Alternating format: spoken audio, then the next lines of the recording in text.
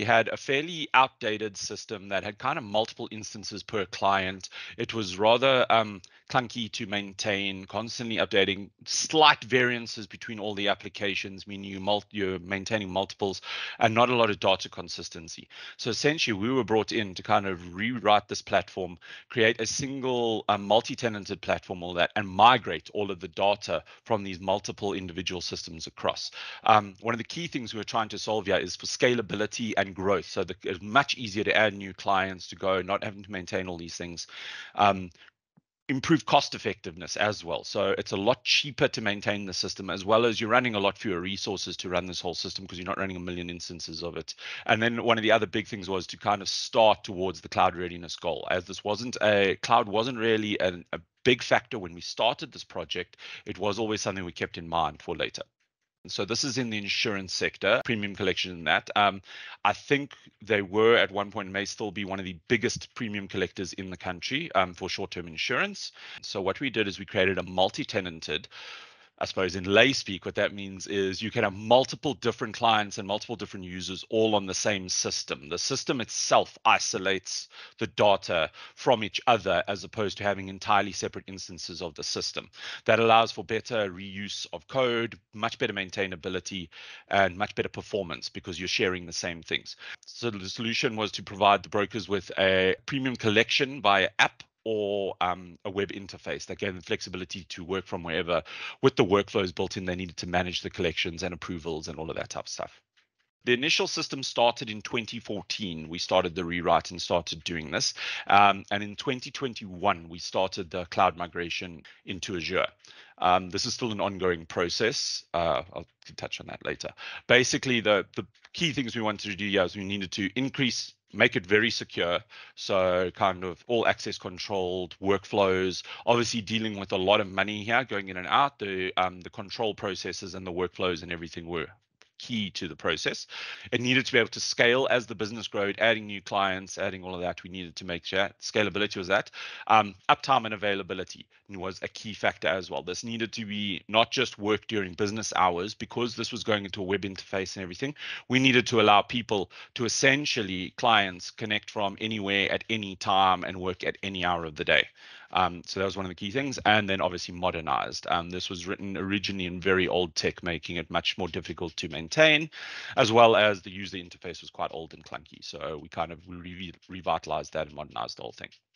The project was, um, as alluded to by the fact that I mentioned the collections and disbursements, is in the insurance sector. This is a third party that essentially does premium collections on behalf of brokers and insurance companies.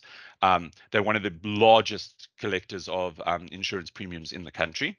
BBD was brought in in 2014 to start the initial rewrite of the app, and in 2021 we began the migration into um, Azure.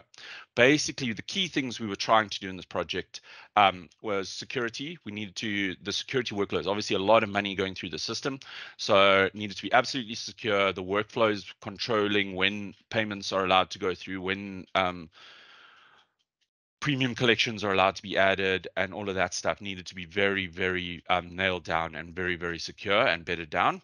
Also uptime and availability. This thing needed to pretty much be available 24 7 whenever anyone wanted. Because it was now a web interface much more available to the client we also needed to make sure we were available not just during core business hours so that clients could load um, premium collection files at any time of night. Even though they'd only be approved and the workflows might go through the next day the stuff needed to be kind of set up the night before. The clients should be able to work whenever they wanted to.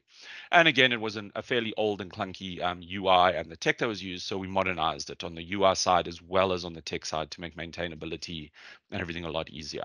Our initial cloud migration is essentially lift and shift. Um, we've just lift and shift is essentially almost always the first step to a cloud migration. It's taking whatever you're running on prem or in data centers and just moving them like for like into VMs running in the cloud. The cloud wasn't necessarily one of the original goals. In 2014 in South Africa, the cloud wasn't a massively adopted thing. So while it was a nice idea, it was more seen as, oh, the devs just want to play with new to- new toys.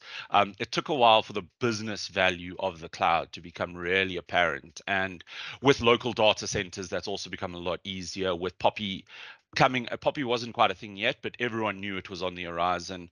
With data residency needing to be stored in certain things, people weren't sure. So the cloud was avoided initially by that, but that didn't mean we weren't we didn't have an eye on it.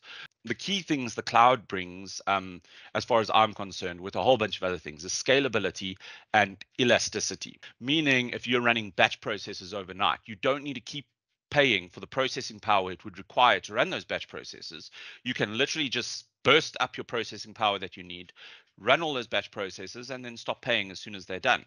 Um, incidentally, this is one of the big things we did do, and it massively, massively decreased the amount of time it takes to run those batch processes because when you've got a fixed capacity, you you can't go for the best case scenario and batch process, and then most of your resources sit there idle.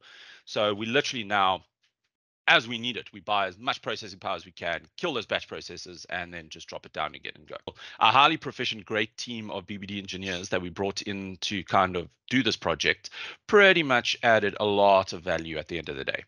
Um, our key things from the beginning was modernization, and with that came the operational maintenance and upgrade cost savings. This just means that it is a lot cheaper to make any changes we need to do, which is upgrading and maintenance, and also just running the system on a day-to-day basis became cheaper and less difficult. So from here onwards, what we will be doing, we'll be moving on to using more cloud-native databases. We'll be looking at re-architecting some of the system to not run on VMs, to more run using cloud-native um, systems, platforms as a service, um, which give us better maintainability, uptime, less maintenance on our side that's needed, and in general just allows you much more flexibility.